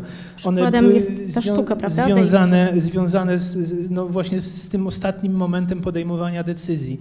E, No ale Kopernik e, żyje w ciekawych czasach od urodzenia się w Toruniu przez studia w e, Krakowie, a potem e, w Italii. Także tych wątków filmowych, jeśli można tak to określić, w jego życiu, dobry scenarzysta z pewnością mm, potrafiłby wyciągnąć wiele. To nie, jest, to nie jest kwestia tylko scenarzysty, a niestety także inwestora, który, bo to, no, to, znaczy to, to muszą być setki milionów po prostu, żeby to zrobić. To musiała być wielka porządnie. międzynarodowa produkcja. Tak? A jeszcze, jeszcze z, z tego dorobku, te rocznice tej z, sprzed 50 lat, to skoro już padło nazwisko mm, profesora Gingericza, to znaczy nie wiem, czy ktoś, kto nas ogląda, e, nie interesuje się Kopernikiem, chyba, no to nie wiem dlaczego ogląda, ale, ale, ale no, fantastycznym, ponadczasowym skutkiem tej rocznicy była, jest jego znakomita książka. Książka pod tytułem, książka, której nikt nie przeczytał, której on ironicznie nawiązuje do, do określenia Artura Kesslera, dowodząc, że, że gdyż jest to spis wszystkich zachowanych egzemplarzy pierwszego i drugiego wydania De Revolutionibus i z całą pewnością ich, e, może nieliczni e, nabywcy, ale jednak bardzo uważnie widać, że przeczytali robiąc notatki na marginesie, które Gingerich stara się odcyfrować. E, I, i ta książka, no to jest, to, to jest właśnie coś o tyle ponadczasowego, że ona przy okazji pokazuje, pokazując wędrówki tych egzemplarzy, to jest równocześnie, znaczy pokazuje historię Europy historię w ogóle upowszechniania druku w Europie i tak dalej, więc gorąco ją y, rekomenduję tak, tak czy siak. No i to jest jeden z tych dorobków. Zresztą chyba w ogóle Jerzy Dobrzycki właśnie mu zaproponował pisanie, jeśli dobrze pamiętam we wstępie, że, że sporządzenie no, tego spisu. Książka jest poświęcona między innymi profesorowi Dobrzyckiemu, który był jego współpracownikiem i przyjacielem. Ja miałem okazję y, i przyjemność przetłumaczyć tę książkę. Natomiast y, y, no, Kingerich pokazuje bardzo wiele bardzo ciekawych wątków. Myśmy w ogóle nie mówili właściwie o tym posłaniu De Revolutionibus na indeks ksiąg zakazanych. Gingerich pokazuje bardzo ciekawe rzeczy, ponieważ on obejrzał książki w różnych bibliotekach. I na przykład okazuje się, że zastosowanie się do wymogów cenzury w Hiszpanii właściwie zupełnie było pomijane, bo chodziło o to, że to nie, nie, chodziło o to, że nie można czytać De Revolution News. Chodziło o to, żeby przed czytaniem wprowadzić pewne poprawki, y, skreślić pewne tytuły, zamienić coś, twierdzenie pewne na hipotezę i, i takich dwadzieścia chyba parę punktów sformułowała y, cenzura. Y, więc Geografia ocenzurowanych egzemplarzy już jest bardzo ciekawa i bardzo wiele mówi. Między innymi to, że to właściwie była przede wszystkim kwestia wewnętrzna Włochów bardziej niż, niż Europy. E, no byli tacy jak Galileusz, którzy stosowali się do cenzury, ale e, kreślili to tak cieniutką kreską, że i tak spokojnie można było wszystko przeczytać. Więc tak, badania Gingericha mają również taką warstwę anegdotyczną, bardzo interesującą, ale Głównym y, takim wnioskiem z tych badań y, to jest to, y, co też od razu, jakbyśmy to określili, pozycjonuje Mikołaja Kopernika na początku jego kariery już tej europejskiej. Mianowicie te wszystkie, czy 90 parę procent adnotacji w zachowanych egzemplarzach pierwszego i drugiego wydania dotyczy pięciu ksiąg od drugiej do szóstej, tam gdzie są zbudowane matematyczne modele planet. E, więc widać e, tą potrzebę, poszukiwanie no, nowej, nowego, lepszego opisu matematycznego ruchów planet. Prawie nie ma dyskusji, nie ma uwag z tą księgą pierwszą, która jest księgą no, filozoficzno-kosmologiczną, tą te zachowane egzemplarze pokazują, kto je czytał, ludzie zainteresowani w astronomii matematycznej i próbujący zrozumieć e, tę matematykę, która potem zamienia się na e, tablice astronomiczne. To mamy już pierwszy wątek związany z trwającą rocznicą, czyli że przydałby się serial to do Netflixa albo do HBO, można by się odezwać w, w ramach wniosków po tej debacie, bo wydaje mi się, że to jest rzeczywiście pomysł, który mógłby obu stronom przynieść sporo korzyści. E, jak przyglądałem się analogicznym dziejom recepcji kulturowej na przykładzie Chopina, to tamte rozdziały były dosyć podobne. Mieliśmy i Chopina romantyzowanego, i Chopina jako wirtuoza techniki, takiego praktycznie matematyka E, klawiatury, a jak dochodziliśmy do tego XXI wieku, to e, Chopin był przede wszystkim marką. Wszyscy o tym pisali, czym jest marka Chopin, e, jakie logo powinien być Chopin, czy Narodowy Instytut Fryderyka Chopina powinien być depozytariuszem dziedzictwa, czy może sprawnym zarządcą pewnej marki. No i chciałbym skończyć tę naszą dzisiejszą podróż od czasów kopernikańskich do współczesności właśnie tym pytaniem jest, sporo na przykład znakomitych instytucji. E, jedna z nich nas e, też gości teraz, e, które mają Kopernika w nazwie. Kiedy w Warszawie robiono Centrum Nauki, też postanowiono nadać mu imię właśnie Kopernika. Gdybym tak zapytał, czym dzisiaj Kopernik jest, może być jako marka, czy to dobra marka, czy jakbym miał jakieś pieniądze akurat przypadkiem, na co się nie zapowiada, to powinienem zainwestować w markę Kopernik, czy y, jakoś ktoś powinien na straży tej marki stać, czy powinien powstać jakiś Narodowy Instytut? No, internet w tej chwili daje potężne źródło do y, wyszukania wszystkich możliwych marek Ko- Kopernik. Ja kiedyś za, na potrzeby jakiegoś popularnego wykładu to, to zrobiłem, więc jest kwiat imieniem Kopernik, jest pióro wieczne Kopernik, oczywiście wódka Kopernik i miód pitny Kopernik, e, pióro, no jest, Pierniki. no pierniki oczywiście, jest pełen zakres, natomiast nie umiałbym panu doradzić, w co zainwestować od tak awista. A czy te marki coś łączy, czy po prostu Zastanawiałem polskość? się nad tym, czy. Ja nie umiem tego powiedzieć. E, Nie umiem tego powiedzieć, bo e, ja myślę, że to jest bardzo różnorodne. Znaczy, z jednej strony być może idzie za tym dział, nie wiem, promocji i sprzedaży, ale może również są e, właściciele, którzy są zakochani w astronomii albo w Koperniku i po prostu w, w ten sposób miłość do tego e, człowieka albo do astronomii wyrażają. To trzeba by było przeprowadzić szczegółowe badania. Tak, na, znaczy naj, na, bar, bar, najciekawszy dla mnie tutaj przykładem jest, jest Wrocław, którego k- który też y, bardzo sobie intensywnie jakby hmm, przyznaje się do, do, do, do, do chociaż znaczy nawet nie wiadomo, czy Kopernik kiedykolwiek we Wro- we Wrocławiu przebywał, ale bo wy- wydaje mi się, że najbardziej tak czysto, z czysto biznesowego punktu widzenia najbardziej y, promowanie tej marki zainteresowane są miasta i, i biznes umieszczony w miastach, y, hotele na przykład, żeby się mogły więc oczywiście w Krakowie, chyba w Krakowie takiego nie ma, w Kra- Kraków ma za dużo tych marek, ale, ale, ale oczywiście dla Torunia, dla, dla Lubawy, dla Olsztyna czy dla Fromborka, no to to jest główny, e, główne narzędzie do, do autopromocji. E, Wydaje, wydaje mi się w ogóle, że, że, że, że stworzenie takiego instytutu, który by stał na, na czele marki jest w ogóle, wydaje mi się, że prawnie jest jakoś, znaczy trzeba było jakoś ustawę specjalną wymyślić o ochronie tej marki i, i w dodatku i w dodatku byłoby jakieś prawo, które nie, nie da się wy- wyegzekwować. Tak więc musimy się pogodzić z tym, że po prostu wrocławski przedsiębiorca, toruński przedsiębiorca, lubawski przedsiębiorca za, będzie ważyć piwo Kopernik, sprzedawać pierniki Kopernik, miód pitny Kopernik, wódkę Kopernik, w hotelu Kopernik, w restauracji Kopernik i tak dalej. No, Przy, przy ulicy Kopernika. ale na pociechę możemy zaznaczyć, że przypomnijmy, że nasz e, bohater był też ekonomistą e, i administratorem i stał na, stał na straży e, dochodów e, między innymi kapituły warmińskiej, więc chyba taka idea, że przyczynia się do rozkręcania interesu i jest ruch w gospodarce, chyba, chyba, chyba w zaświatach go to jakoś nie, nie, nie, oburza. Tylko czy bez jakiejś opieki nad tym dziedzictwem nie będzie tak, że tutaj gorszy pieniądz wyprze lepszy i y, będziemy mieli dewaluację tej marki, prawda? Na pewno ten wątek, że miasta podejmują. Znaczy ja tego zaczęłam, od tego wizerunku Mikołaja Cze Kopernika, ale akurat Starostwo Powiatowe w Olsztynie czy Muzeum Ma- Warmii i Mazur starają się, planetarium również olsztyńskie, e, podejmują i również w związku z, z przyszłorocznymi e, obchodami e, podejmują bardzo ciekawe inicjatywy. To znaczy rok w- temu został otwarty skwer właśnie pamięci takiej Kopernika, gdzie się pojawiają różne mm, rośliny, których właśnie, które zostały tak nazwane albo w swoich łacińskich nazwach na cześć Kopernika, lub z którymi jest kojarzone na przykład konwalia majowa, e, co też już dzisiaj o tym, o tym była mowa. W związku z przyszłorocznymi obchodami Planetarium Olsztyńskie planuje tak zwaną doświadczalnię Kopernika.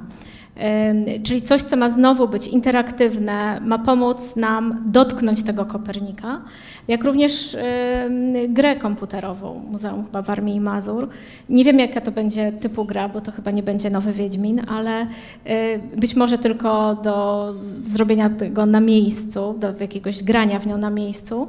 E, Ale zdecydowanie te próby są podejmowane. Tutaj też widzą Państwo książkę dla dzieci, która została wydana e, stosunkowo niedawno, gdzie jest pewna sugestia, kim Kopernik miałby dla nas być. Ale jeżeli Państwo dotrą do jakichś e, uchwał, chociażby ostatniej uchwały Senatu, która ogłosiła rok 23 rokiem Kopernika, Matejki Wisławy Szymborskiej, Kraków wygrywa, y, to, y, to tam się pojawia w tekście tej uchwały to, że ma być inspiracją dla następnych pokoleń, znaczy w odniesieniu do Kopernika, że tam być inspiracja do pewnego sposobu naukowości, rozwoju i, y, w duchu właśnie tego, czego byśmy oczekiwali, no powiedzmy, tak jak jest to właśnie przedstawiane, nowoczesnego patriotyzmu.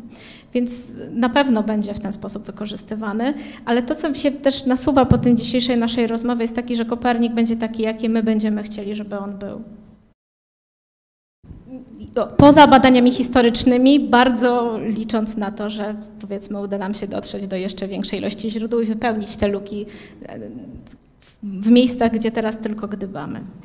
Tak jest. Nie wiem, czy to dobra wiadomość, że on będzie taki, jaki my byśmy chcieli, czy to zła wiadomość, bo to pytanie o to, jacy my będziemy, ale to już e, na szczęście nie dla nas do rozstrzygnięcia. E, bardzo zachęcam teraz Państwa, zarówno y, siedzących na sali, jak i przed odbiornikami telewidzów, komputerowidzów, do zadawania pytań. Na razie na czacie mamy e, trochę komentarzy, ale żaden z nich nie jest zakończony znakiem zapytania. Więc wydaje Jeśli mi się, Jeśli mamy że... pytanie na sali, to ja podejdę Tak jest, świetnie.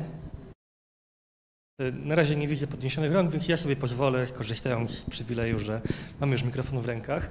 E, w jednym, z jednej z wersji tytułu tej debaty pojawiło się słowo mem i chciałbym się do niego odnieść, bo ja wiem, że oczywiście memy mają też swój bardzo szlachetne źródło słów pochodzące od Dawkinsa, informacja kulturowa i tak dalej, ale mem w znaczeniu tym takim no, potocznym, czyli śmieszny obrazek w internecie. Czy ktoś z Państwa natrafił na tego typu memy o Koperniku? Czy ktoś z Państwa w ogóle się tym interesował? Ale musi być śmieszny? No pewnie nie musi być śmieszny. Pewnie nie musi być śmieszny, albo może w zamyśle autora, a niekoniecznie. No, to jest E, problem. Czy, czy Kopernik jest rzeczywiście obecny jako mem, czyli śmie- interesujący obrazek w internecie? Na początku próbowałam pokazać, nie wiem czy to, nie wiem czy przejdziemy do początku. Te dwa memy, przepraszam, muszę dłu- wiele slajdów przejść w takim razie. To jeszcze raz szybkie To jeszcze raz szybkie, przepraszam tutaj.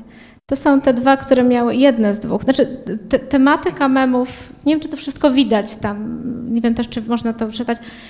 Nie wiesz we wszystko, co przeczytasz w internecie. Adam Małysz, założyciel Microsoft. E, I oczywiście wizerunek Kopernika. Wiecie Państwo, memy e, są tak intertekstualne, wymagają też tak dużej wiedzy poza, e, poza ikonicznej poza jakby tej, która się odnosi bezpośrednio do obrazka, że ciężko powiedzieć, czy one dla wszystkich są jednakowo śmieszne. E, Ten drugi z kolei też z kolei nas odnosi do serialu Sąsiedzi, więc myślę, że młodsze pokolenie nie będzie wiedziało, co to za serial i dlaczego może to być zabawne, jeżeli rozpoznają jakieś e, odniesienia do instrumentów astronomicznych. Ale te rzeczy pojawiają się, zdobywają lajki, polubienia. Tych memów jest bardzo dużo. One się często odnoszą właśnie do, do toruńskości Kopernika. Nie wiem, przedstawiane jest w, w, właśnie z głową jako serce piernikowe, czy twarzą jako serce piernikowe, do nazwiska Kopernika, ale bardzo dużo odnosi się do, do właśnie do jego fizyczności. Ym, Tak samo jeśli Państwo zobaczą w kulturze popularnej, jeżeli ktoś pojawia się, nie wiem, w nowej fryzurze, która jest powiedzmy demody, to natychmiast i przypomina w jakiś sposób, powiedzmy, grzywką, czy długością, czy gęstością włosów fryzurę, którą znamy właśnie z tego portretu y, toruńskiego. Y, No to natychmiast się pojawiają takie porównania i komentarze, które są w dzisiejszym rozumieniu pejoratywne. No, ja myślę, że kolejne obchody kopernikańskie przyczynią się do powstania jakiejś tam fali memów. Y, W 1973 roku y, w moim instytucie, macierzystym Instytucie Historii Nauki Polskiej Akademii Nauk, y, krążył taki dowcip. Wszyscy mieli tak dość propagandy związanej z Kopernikiem, że mówiło się, że dziecko w szkole zapytane o to, co to jest rude z ogonem i skacze po drzewach, odpowiadało natychmiast Mikołaj Kopernik. Więc zobaczymy, czy aż do takiego e, e, e, punktu te obchody kopernikańskie doprowadzą. Poczekajmy. Tego nie wiemy, natomiast na pewno to, co się pojawia w osobach, które badają kulturę popularną, kulturę masową i mm, różne aspekty psychologiczne młodego pokolenia, powiedzmy, które uczy się o Koperniku w szkole i to jest, to jest oczywiście bardzo ważne. Podkreśla, że wszystko, co jest zrobione z przymusu, wszystko, co jest narzucone odgórnie, będzie podświadomie albo świadomie odrzucane. Więc w takiej mądrej polityce historycznej, czy właśnie w kwestiach pamięci kulturowej, warto wsłuchiwać się w to, co, co jest głosem danej epoki, danego pokolenia, e, no i też jego estetyką, żeby te pewne rzeczy testować. Tutaj prowadzący poprzednią debatę e, dr Tomasz Rożek w swojej fundacji zaproponował grę Akademię Superbohaterów, która została zabawką roku. Pomysł jest bardzo prosty. To jest przedstawianie znanych, a właściwie częściowo mniej znanych również postaci ze świata polskiej nauki w formie kart do gry i wymyślenia gry wokół tego, że właśnie te postaci mają moce podobne do superbohaterów znane z popularnych bajek czy komiksów. I jest to jedna z prób dotarcia do, do, do tej najmłodszej w tym wypadku publiczności, która jest jedną z najbardziej wymagających. To tylko wracając ściśle do pytania o, o memy, to e, no jednym z też dorobków tego 500-lecia była księga Tytusa Romka Jatomka, w której bohaterowie odwiedzają e, Kopernika przy pomocy aparatu profesora Talenta i pojedyncze, wyrwane z kontekstu kadry.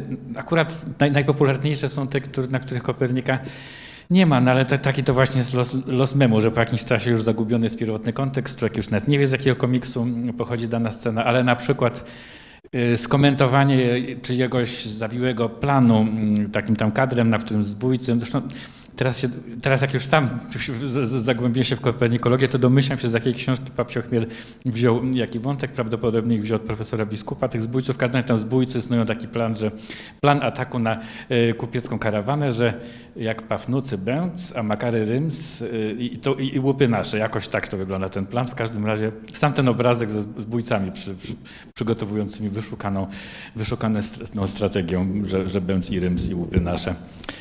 To, to, to właśnie krąży jako mem, ale chyba niestety właśnie żaden obrazek z samym Kopernikiem się, się jakoś tak nie spopularyzował. Bo, no właśnie, on jest, jest jednak postacią, która się wymyka za bardzo. Po prostu za, łatwiej jest narysować jakąś postać drugoplanową z tej historii, na przykład bójców warmińskich. Jeśli ja jeszcze mogę jako prowadzący dorzucić y, swoje trzy grosze, to też w ramach y, badań poprzedzających udział w tym panelu y, przeglądałem te memy I to, co rzuciło mi się w oczy, to e, niski stopień kontekstualności e, tego Kopernika, mhm. czyli on jest tu w zasadzie zamienialny z wieloma innymi postaciami, jest taki bardzo ogólny, nie tak, wiemy o nim tak, nic więcej, tak. stąd znowu to pytanie, które nam pierwsze przychodzi do głowy, czy Kopernik była kobietą, bo, bo nie bardzo wiemy o co E, głębiej spytać. Jak to porównamy z memami szopenowskimi, to tam mamy dwie grupy. Pierwsza jest taka jak memy kopernikańskie, a druga jest taka, że do ich odczytania wymagana jest znajomość muzyki, nut, w szczególności twórczości Chopina. Na przykład e, ręce pianistów przedstawione jako różne przedmioty i są piórka przedstawione jako e, Chopin, a takie od miksera końcówki jako list. E, na przykład i e, albo nazwiska e, kompozytorów zapisane nutami do zaśmiania się z tych memów wymagana jest przynajmniej podstawowa wiedza kontekstualna i one są na przykład bardzo popularne jako wzory na koszulkach. To są takie koszulki, które e, pozwalają odróżnić swoich od obcych. To, co mnie tutaj zainteresowało, to to, że brak tych memów sugeruje brak takiej wspólnoty plemiennej. Czy dzisiaj mamy na przykład młodych ludzi, którzy fascynują się astronomią, którzy prowadzą w ogródku teleskopami swoje obserwacje, czy ta tradycja kółek astronomicznych jeszcze przecież w latach 90. E, tak silna, nie wytwarza takiej swojej kultury memicznej, ludzi, którzy się jakoś przez utożsamienie z astronomią identyfikują. Może to jest jakieś zadanie rocznicowe. Znaczy, i istnieje i funkcjonuje wciąż dobrze Polskie Towarzystwo Miłośników Astronomii. E, są czasopisma popularno-naukowe poświęcone astronomii i są również różnego rodzaju fundacje, które e, upowszechniają i wciągają e, czasami zaskakujące grupy osób w obszar astronomii. Także oczywiście niektóre z tych organizacji wykorzystują Kopernika w swojej nazwie, więc pod tym względem myślę, że jest nieźle.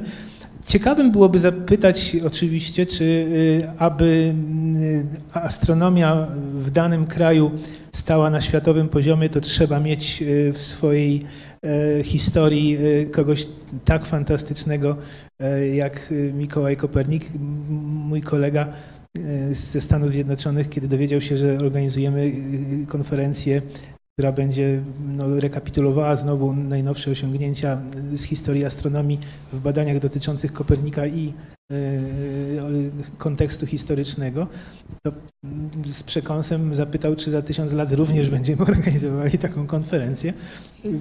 Wydaje mi się, że odpowiedź brzmi tak. Czy y, mamy jeszcze jakieś pytania? Y, y, Ja nie będę potrzebował, Ale dla naszych, dla internetu. potrafię głośno mówić. Dzień dobry. Proszę Państwa, patrząc na te y, mm, portrety Mikołaja Kopernika, jak wiadomo, ten oryginalny strasburski się nie zachował. I jeśli popatrzymy do historii astronomii w pierwszym tomie profesora Rybki, y, tam jest y, przy, przy kopii jest ro, rok 1541. I to stanowiło dla profesora Rybki problem. W związku z tym on zrobił powiększenie i została ta data odcięta. To jest jedna, jedna uwaga. Nie wiem, czy Państwo wiecie o tym. Po drugie, Mikołaj Kopernik był człowiekiem renesansu. On przynajmniej y, w biegle znał trzy, trzy języki, a na pewno znał polski i znał lingwę y, y, pospolitą, czyli późniejszy włoski, y, a tak posługiwał się w piśmie y, niemieckim i łaciną, bo to trzeba było znać. Oprócz tego wuj, wuj y, który widział, że się zainteresował sprawami filozoficznymi, mówił, że jak studiował w Akademii Krakowskiej, to tam istnieją w oryginale pisma filozofów greckich z IV wieku przed naszą erą, więc jak chcesz przeczytać, to y, naucz się greki. Więc on pierwszy krok kupił język łacińsko-grecki i proszę Państwa, w, w, y, jak Szwedzi wzięli całą bibliotekę, wywieźli do Uppsali, to tam znaleziono pięć włosów, prawdopod- prawdopodobnie Kopernika i można było na podstawie tego DNA ustalić, czy y, szczotki, szczątki y, odkryte we Fromborku są te, czy nie. Zresztą astronomowie protestowali generalnie przeciw y, poszukiwaniu i, y, tych szczątków, bo to jest bez sensu. A wracając jeszcze do tego napisu, na oryginale jest po grecku napisany Kopernik przez jedno P, bo długi czas były dyskusje, czy przez dwa P, czy przez jedno P, to jest to. No i pytanie takie, y, że wiadomo, że oryginał znajduje się w Bibliotece Jagiellońskiej i ciekawe jest, jak dotarł do tej Biblioteki Jagiellońskiej. Dziękuję. No, y, hi- historia wędrówki rękopisu y, Mikołaja Kopernika jest całkiem nieźle znana. Y, Kiedy Czesi, mówiłem o tym, obchodzili y, 1873 rok jako ważną dla nich rocznicę kopernikańską, to wtedy jeszcze y, ten rękopis przebywał właśnie w Czechach, w bibliotece hrabiego Nosfica chyba, tak się nazywał. E, Potem trafił e, ostatecznie za przyczyną właśnie obchodów kopernikańskich powojennych do, do Polski e, i, i od tej pory jest e, tam, gdzie powinien, choć być może, nie wiem, Fromborg na przykład w- wszedłby w silną dyskusję z Krakowem, dlaczego rękopis De Revolutionibus ma być e, w Bibliotece Jagiellońskiej, a nie e, w Muzeum Mikołaja Kopernika we Fromborku. Troszkę gorzej znane są od pewnego momentu te najwcześniejsze etapy krążenia rękopisu e, po e, Europie, ale od, od pewnego momentu to, to jest jest dość dobrze udokumentowane. Gdyby Pan chciał dokładnie, bo ja tylko przypominam sobie różne epizody, to y, we wstępie do y, wydania y, faksymilowego y, y, rękopisu y, w dziełach wszystkich Mikołaja Kopernika, tam ta droga jest y, na tyle, na ile to było możliwe, zrekonstruowana. A właśnie, jeszcze warto o tym wspomnieć, że y, wspominałem o y, wkładzie y, profesora Ludwika Birkenmajera w, pierwszą taką krytyczną edycję pism Kopernika w, już w wolnej Polsce, bo wcześniej jeszcze była, y, było wydanie Baranowskiego, ale to już nie ma czasu, żeby o tym opowiadać. ale ta e, rocznicowa tysiąc, e, feta związana z 1973 rokiem zaowocowała rozłożoną na wiele, wiele lat edycją krytyczną e, Opera Omnia Mikołaja Kopernika, czyli wszystko, co Mikołaj Kopernik e, e, napisał, e, co miało znaczenie dla badaczy, dla historyków nauki, sukcesywnie było wydawane w przekładach na różne języki z komentarzami, więc pojawił się Kopernik nie tylko w języku polskim, e, ale w języku e, angielskim, w, języku niemieckim, Niemcy zrobili to oddzielnie, e, w języku rosyjskim i łącznie z tymi pismami pomniejszymi w tej chwili każdy, kto chce czytać Kopernika, też jego notatki medyczne, czy traktat y, o pieniądzu, y, może to bez kłopotu zrobić. Czy mamy jeszcze jakieś pytania na sali? Nie widzę. Marcinie, a w internecie pojawiły się W jakieś... internecie mamy kilka e, komentarzy, że brawa dla planetarium w Chorzowie, to rozumiem za werbunek. E, warto wspomnieć, że w czasach PRL-u Kopernik był obecny na banknotach 1000 złotowych. Nie wiem, jak to możliwe, że to przegapiliśmy. No to- Tego, było, tylko było, tak, nie no nie mówiliśmy wspomnieli. o tym. Ja tylko, banknocie przepraszam, nie w tę stronę tym razem. Ja miałam tutaj taki slajd y, dotyczący przede wszystkim monet, bo te wszystkie obchody y, y, roku 73 i ale nie tylko. To znaczy bicie y, monet z Kopernikiem to, to nie jest tylko kwestia obchodowa. Oczywiście były monety kolekcjonerskie, dalej są monety kolekcjonerskie. Natomiast y, kwestia zmieniającej się znowu estetyki też tych przedstawień, myślę, że to jest bardzo dobrze widoczne, to znaczy te czasy też socrealizmu i późniejszych przedstawień już z lat 70. I na dole to jest jedna z tych najnowszych monet na- Narodowego Banku Polskiego y, kolekcjonerskich z Kopernikiem, który jest przedstawiany mm, y, na rewersie, tam jest traktat właśnie o biciu monety. I przedstawiany jest w tej serii e, ekonomów polskich, więc to jest, to jest też ten taki dziedzictwo ekonomiczne, które też będzie poruszane na, w panelu na Światowym Kongresie w przyszłym roku. No a ten y, znowu ten bardzo znany wizerunek, który został przekształcony w, w, w ten nominał tysiąca złotych przed domina, denominacją, em, który funkcjonował przez, przez ponad 10 lat e, w obiegu. E, No, jest też czymś, co na pewno utrwalało. To znaczy kwestia pojawiania się w filatelistyce, oczywiście wizerunków Kopernika to są niezliczone na całym świecie, po prostu serie znaczków z Kopernikiem, więc ten pomnikowy, mniej lub bardziej, albo po prostu z atrybutami medycznymi lub astronomicznymi portret y, y, Kopernika czy wizerunek Kopernika jest tak mocno zakorzeniony kulturowo, że bardzo ciężko go jakby pomylić z czymś innym. I to jest na pewno olbrzymi atut przy tworzeniu marki i przy wybieraniu później Kopernika jako patrona, czy y, nie tylko w tym komercyjnym sensie marki, tylko marki osobowej, która no, jest wykorzystywana również przez instytucje naukowe czy, czy państwowe.